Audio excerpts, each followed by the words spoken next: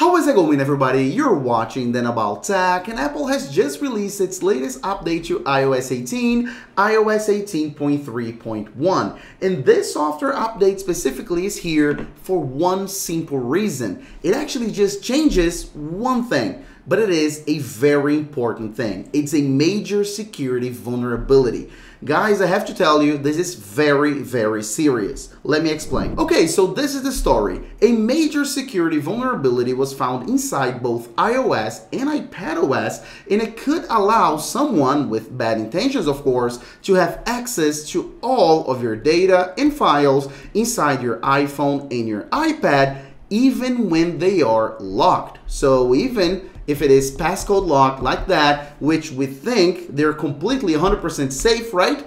Nope, with this vulnerability, they're able to actually bypass and actually have access to all of your data and files on your iPhone or your iPad. And if you ask me, this is pretty much the biggest security vulnerability there is because we always think that we are safe when we have our devices locked with passcode and Face ID and so on. But with this, they would be able to just like that get all of our data and files. It doesn't get more critical than that. Let's see what Apple has to say about this. If we go to this website, which is about the security content of iOS, of course, I'm gonna have it right here in the description. This is an Apple support website, and under iOS 18.3.1 and iPadOS 18.3.1, they have here impact. So where they actually describe the issue. So a physical attack may disable USB restricted mode. I'm to talk about that in a second on a locked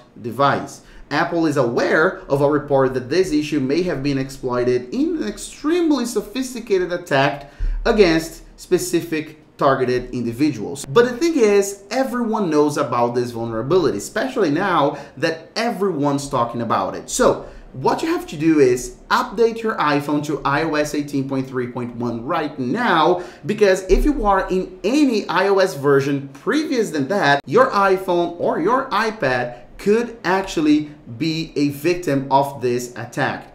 As you know, and as I've mentioned many times here in this video, this is a physical attack, so it would require someone to actually have in possession, have your iPhone with them, and then plug it in. But anyways, this is a very, very serious thing. So don't think this is just for specific people. This is very sophisticated. It would never happen to me. Like, don't think about this. Just go ahead, update your iPhone right now to 18.3.1 and your iPad as well, and just make sure you don't have the possibility of facing this specific issue. Apart from that, there's nothing new in iOS 18.3.1, no new features, no changes, nothing new with performance and battery, nothing like that. This software update was built specifically to fix this very, very important issue and vulnerability. So go ahead, update now, and of course, stay tuned to About Tech. Always the best content on Apple. See you later, guys.